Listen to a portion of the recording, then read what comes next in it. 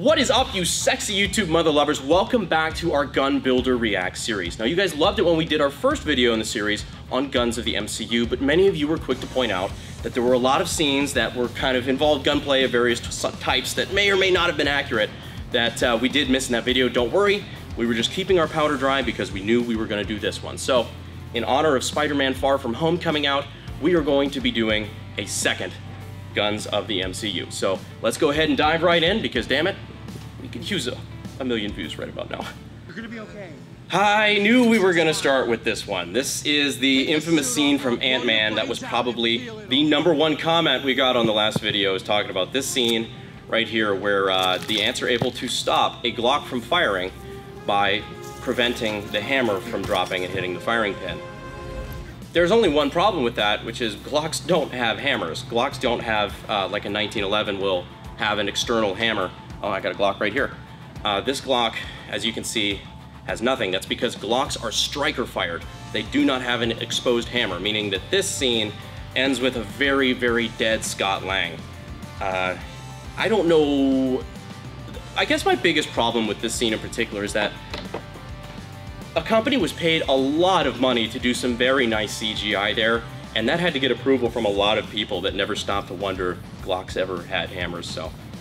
The CGI looks nice, but Scott Lang's still dead. Okay, so it looks like we're going back to the classics with Iron Man 1.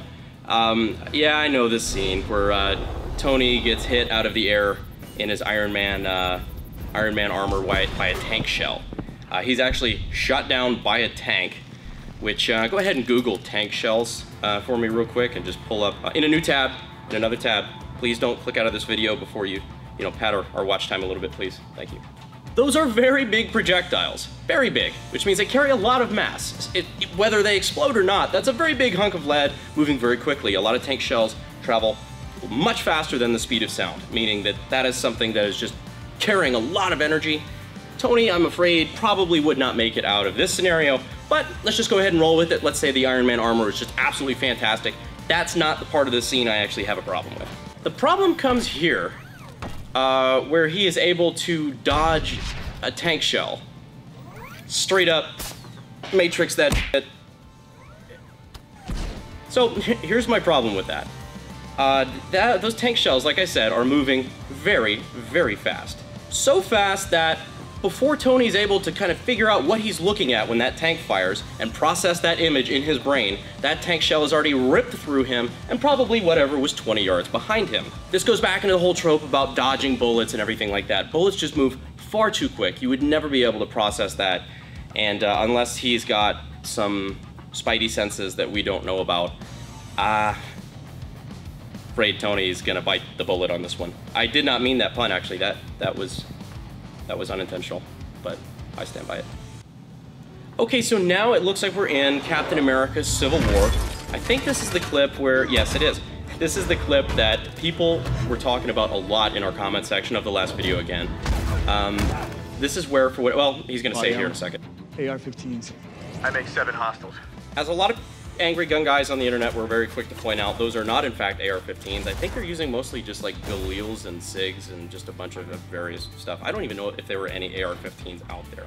A lot of people are saying this is Hollywood's anti-gun trying to tell people that, you know, terrorists use uh, AR, AR-15s. I think this is probably just written into the dialogue in the props department. I probably hit the bed on that one. As for the actual in-universe explanation for this line, I'm gonna have to give Cap a pass on this one, considering literally none of those guns existed when he went into the ice. I mean, hell, two years ago, my man hadn't even seen Star Wars yet, so I'm not expecting him to have every modern assault rifle memorized in this time. Okay, so later on in Captain America Civil War, this is where Bucky is taking on the Avengers, and he shoots Tony, actually, yep, costume change. He shoots Tony right in the face. Luckily, he was wearing his patented Stark Tech glasses that apparently can stop a 9mm handgun. We have nothing like this. This doesn't exist uh, in, the, in the real world. Uh, actual glasses like that, especially stylish ones that can actually stop a 9mm handgun round. That doesn't really exist, at least not to my knowledge. Um, but however, let's just say this is just Stark Tech again, and uh, he's just got cutting edge, cool stuff like that. The only problem I have with that from there, assuming that these are just like cutting edge, you know, ballistic shielding, is that when bullets hit something that is bullet resistant or bulletproof, they don't just disappear. So when a bullet hits something that's harder than it, that completely blows it apart, like let's say a steel target or something like that, there's actually something called spalling, where the pieces of the bullet fly out in a bunch of different directions because that energy is still there. Speaking of which, that would really still hurt like a bitch if you were shot with bulletproof glasses point blank because that energy doesn't just dissipate. That energy still just blew those glasses back into your head. So that would probably, if nothing else, give you a pretty severe migraine. You're not just gonna be standing there like absolutely shocked that this, you know, Cold War assassin is really willing to shoot you in the face. But if any of you out in the comments can find some super stylish glasses like these that are rated to stop 9mm, uh, go ahead and shoot me that uh, Amazon link. Look a brother up. So now it looks like we're going back to the original Avengers, where uh, Loki has clearly pissed in Hulk's Cheerios because he's kind of just being Hulk. And uh, this is where he gets shot at by an aircraft of some sort. I'm not a plane guy. Guys, sorry, I'm a gun guy. I'm a jack of exactly one trade here. So, the, the weapon that's probably on this aircraft is, I'm guessing somewhere between 20 and 30 millimeter. Uh, very big rounds. And it's doing absolutely nothing to Hulk. It's kind of pissed him off, um, and it doesn't look like he's particularly enjoying it. But, so these kind of rounds are typically designed to be leveling villages and uh, punching through heavy armor, tanks, pretty much anything out there. Um, if you're shooting at this, it's not going to be there when you're done shooting at it. And Hulk is kind of taking it like a champ here. It's not even piercing his skin, so it's just kind of bouncing off like it's airsoft. And before you even say it, uh, you're going to come at me with the whole, oh, Hulk's skin is impenetrable, oh, it's a gamma radiation, whatever. Uh, no, no, because a couple movies from now in Thor Ragnarok, he gets bit by a big ass wolf, and wolf teeth are able to punch through Hulk skin. So if a big ass dog can do it, I'm pretty sure that you know 20 25 millimeter cannon's going to be able to do it because those those and those rounds probably explode. I have no explanation for that. None that you like.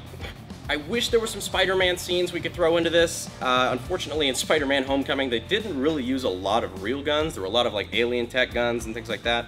There was one scene where Birdman threatened Peter Parker uh, with a handgun. I can't really remember it that well, but I, there's not really a lot to talk about other than the fact that, you know, he's threatening to shoot a child. Which, as far as homecomings go, not great. So I think that just about wraps up the scenes that we have for today's episode. As always, you guys have your recommendations that you want to see us cover as far as your favorite movies, video games, uh, TV shows. A lot of you guys are saying Punisher. Uh, we'll probably end up doing that sometime soon. I have to kind of finish watching the show first, but there's a lot of other things that you guys are saying that we should cover. So uh, we, we, do go through those comments. I try to stay pretty active in the comments section. So uh, whatever you guys want to see, be sure to let us know in the comments. Don't forget about hashtag AKG Notification Squad. And I will see you sexy mother lovers on Thursday. Thanks, guys. We're past 30 seconds anyway, but I guess we shouldn't be heavy on the swearing. Look at to keep the monetization.